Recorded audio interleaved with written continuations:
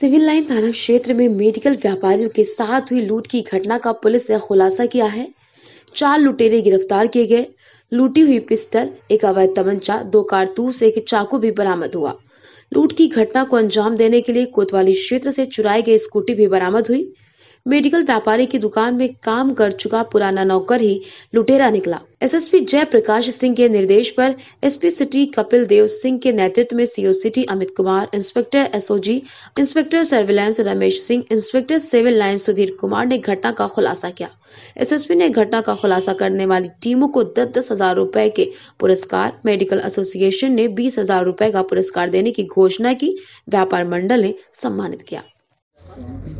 तीन जनवरी 2022 को रात में एक सूचना मिली कि गिरिराज मेडिकल स्टोर के दो सगे भाइयों के साथ जसवंत नगर रोड पे घटना हुई है। इस सूचना पर मौके पर सी ओ सिटी थाना सिविल लाइन्स की फोर्स गई। तो घटना के बारे में पता लगा कि ये अपना मेडिकल स्टोर बंद करके संजीव तिवारी, जो छोटे भाई हैं, वो आठ सवा आठ बजे के करीब जा रहे थे। जब ये नेशनल हाईवे पर पहुँचे हैं तो पीछे से स्कूटी सवार दो लड़के, इनके सर पे किसी डंडे या लोहे के राड से वार किए हैं। इन्होंने अपनी मोटरसाइकिल की स्पीड आगे बढ़ाई। कुछ दूर तक उन लोगों ने पीछा किया, इसके बाद ही स्पीड आगे बढ़ा करके चले गए। यशवंत नगर में जाकर के इन्होंने अपना ट्रीटमेंट कराया।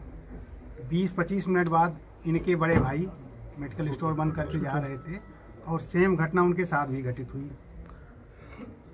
उस घटना में जो स्कूटी सवार था, उसने जो है पहले रोहे की राड से उस पर इनके पर वार किया।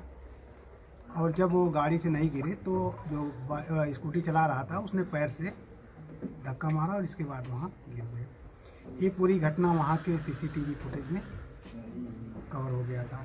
जब ये घटना के अनावरण के लिए हमारी एस टीम, थाने की फोर्स और सर्विलांस टीम लगी तो कई चीज़ उसमें निकल करके आया। और कल मुखबिर की सूचना के बाद इसमें चार अभियुक्त गिरफ़्तार किए गए। लूटी गई, पिस्टल बरामद हो गई है। उसके अलावा जो पैसा लूटे थे उसमें से कुछ नकदी बरामद हुई है।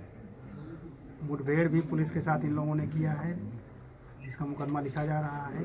और इसमें इनके पास से जो बरामदगी हुई है, उसमें एक पिस्टल है, बत्तीस बोर जो लूटी हुई थी। दो खोखा कारतूस बत्तीस बोर और दो ज़िंदा कारतूस बत्तीस बोर का बरामद हुआ है, जो कि गिरिराज मेडिकल स्टोर के मालिक का था और लूटी हुई थी।